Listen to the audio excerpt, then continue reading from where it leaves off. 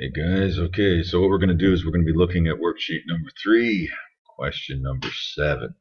I like this one because this gives us a chance to really take a look at the graph and kind of picture derivatives more as a visual thing rather than always just looking at the numbers.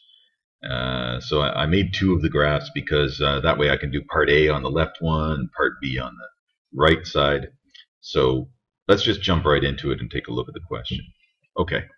So if this graph, so we're going to look at this one here, and we're going to say it represents the original function. So what we're looking at here is that this, uh, let me just make a little black line here. That means this line here is f of x, f of x. And at how many points would the derivative be undefined? So let's think about that for a moment. Okay. Why would an, a derivative be undefined? Well, remember always what we mean. Uh, derivative is the slopes, right? It is the slopes of f of x. So that's the easiest way of thinking about it. You always want to keep that in mind. What am I doing? What am I doing? I am finding the slopes.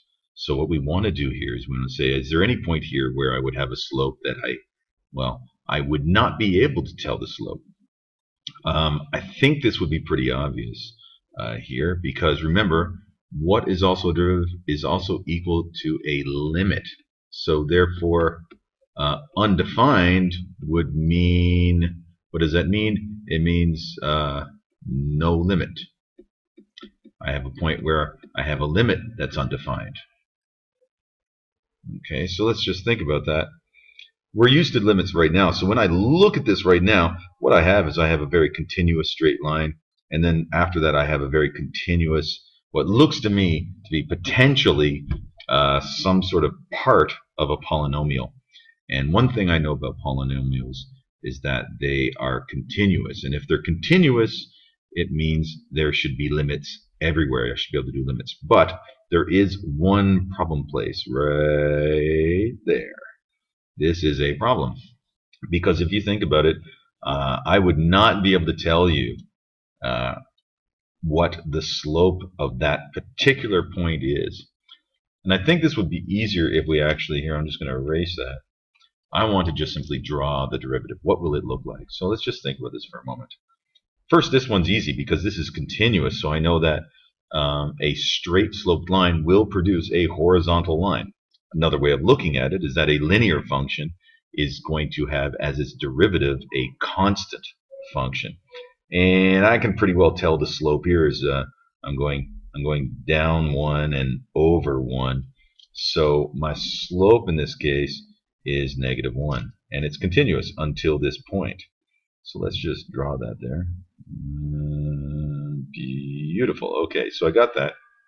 And then what do I got? Well, suddenly, suddenly, it looks like I got something that, I don't know about you, but it looks like I've got something that looks like a very high, maybe even like a positive 2 or 3. So I'm going I'm to just like stick it right up here. It's going to start right up here. So this starts here, it comes right back up here. And then what happens? Well, let's look for some uh, useful points. Excuse me clearly, uh, I have two points that are of great interest to me uh, here and here, and these are both zeros. So I can um, right now the easiest way for me to draw this is to start creating a few points that enable me to start imagining what this might look like.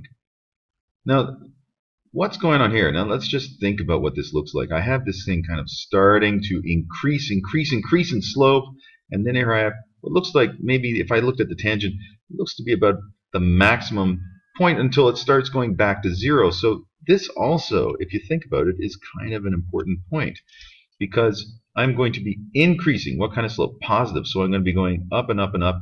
And then here, what kind of slope is this? Maybe 2? I don't know. What does that look like? Yeah, I'm, I'm going to I'm going to say that tangent looks to be about 2. A positive 2 slope. And what I can tell is that the slope is, if you just made a few little tangent lines, you can tell it, it kind of maxes out until it starts to go back down to zero. So these slopes have a, I guess this is a point of where I have the maximum slope. And here I've got going down. Okay, so what do I got? I got this thing coming down, hits zero, and then starts coming back up, and then down. I don't even know if I'm drawing this rather correctly. It looks kind of ugly, to be honest. Uh, but I'm just kind of making a guess, an idea of what it should sort of look like. So here we go. Going back down. And then what happens here? After that, I have a negative slope getting bigger and bigger and bigger and bigger. So uh, I'm just going to draw it like this. It's just going to keep going down, down, down, down. Uh, maybe it doesn't go that badly. Uh, perhaps it even evens out. I don't know. This could potentially kind of start going like uh, this, but I can't quite tell. So it doesn't really matter. I'm going to have a thing kind of just, let's just do that. I know this is not quite perfect. It doesn't look, honestly, it doesn't look beautiful. This should be kind of a continuous line here. Now, the only thing I did wrong here is that I did indicate a value here, and let's just face it, first off, I can't have two points. This is a function after all. And I don't know what the derivative is here, so I can't include a solid. I've got to put a circle here on both ends and say the derivative is undefined here. So when you look at this, you kind of go, oh, yeah, okay, there's, there's clearly slopes everywhere along this thing. And I have pretty well um, one point where I have a derivative being undefined. And then if I say how many points would the derivative equal zero, well, pretty obviously, um, once again, it's wherever I look like I have a slope where the tangent is horizontal, and I have them here and here at x equals 0 and x equals 2. So um, how many points? Should be one point, and I'll just simply point out that it's at x equals negative 1. How many points do I have it as equal to 0? Well, 2 points. And that's at x equals 0 and 2. So that's pretty easy. Now what becomes a little tougher is when we look at this in the opposite way. And this is where part B comes in. So let's think about this. In this case here, this is going to represent the derivative. So what my line here now is, is that this is f prime of x. And what I'm interested in is figuring a way of drawing the original function. And I want to know at how many points would the original function have a horizontal tangent?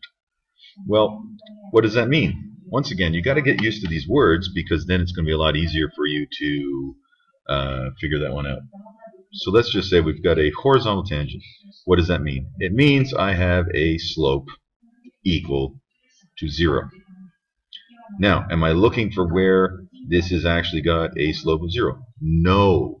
What I'm looking for are the points where the value where f prime of x is actually equal to 0. Well, that's pretty obvious. I got here, I got here, I got here. So I actually have, let me see, three points at x equals negative 3, 1, and 3. I think I got that right. Negative 3, 1, and 3. So now the only thing I want to talk about here is, well, I, it doesn't ask me to, but I want to uh, look at this. Actually, how many points would the original function have the derivative undefined? That's something that uh, I haven't thought about yet. So right now, is the derivative undefined anywhere? What am I looking for? I'm looking for where there is, well, what would that mean? That would mean uh, f of prime x has no value. There is no y value. So for for for some x has no value, a y value for some x, some value of x. And you might have looked at this and said, hmm, does this mean that there is no, um, is there no slope at this point because this looks a little funny? But no, this does have a defined value of negative 2. This is a defined slope this does tell me, unless I see one of these guys, I really do not have the ability to say that there is something that is undefined. There is zero points here that seem to be undefined because everywhere I look, there is a value at some point. So let's think about this for a moment. Okay. Let's take this into sections. First off, so what I'm going to do is I'm going to just draw what I think the slopes are going to look like. First off, I know that um, I'm going to draw up here, by the way. Uh, this looks like I'm going to have a, what? First I have a positive slope of 2, so it's going to look something like that. And then after a while here, oh, actually this gets a little smaller. And then I have 0, that's a horizontal. And then at this point I have a negative 1. Okay, so that's negative 1. Then what do I got? Negative 2. So at this point it's like it's really tight. Oh, but wait. Suddenly, I should be a little careful about this. Um, then it is going to start increasing again. It's going to be increasing. Okay, so it's going to be, uh, let me see, increasing. What does a horizontal line on a derivative mean? Well, if you think about it, let's go back to this one and look at this. The horizontal me line means I'm doing something a little constant here. It's it's sort of like I, for a moment there, it's a little straight. It's a little straight. So that means I'm going to have a constant weight. Now I should be careful about this. Look what I've drawn here. Done it wrong. Because let's make this clear. This is a slope of negative 1. It is still pointing down it's still pointing down, which means it looks like that. It's starting to get less steep. In other words, it's starting to point less downwards, but it hasn't reached a positive slope yet. Here, I've got a slope of 0. And then here, what does this mean? Well, think about what I said here about it at x equals 1 for the original. This is where I have a maximum positive slope. This is where I have my maximum positive slope. It's it's it maxes out at here. It's still a positive slope afterwards, but it's going back to zero, which means afterwards it's going to look like that. And then what happens? I start increasing and increasing my slope. So what's this look like? Well, let's just try it. Now here's an interesting thing. Where do I start? Where do I start? That's one. Now that's one thing that you might have started noticing is that a derivative doesn't tell you where to start. You have no idea. Maybe I started at x equals zero. It's entirely up to you because the information is missing. So let's say I'm going to start at zero, and I'm going to uh, let me see. I'm going to start at a very high slope. At this point, at x equals uh, what is this? One, two, three, four. At x equals negative three, I'm going to have a slope of uh, let's say uh, 1, and then I'm going to have 0. So let's just say I go up that high. So I'm going to go like that. Then what happens?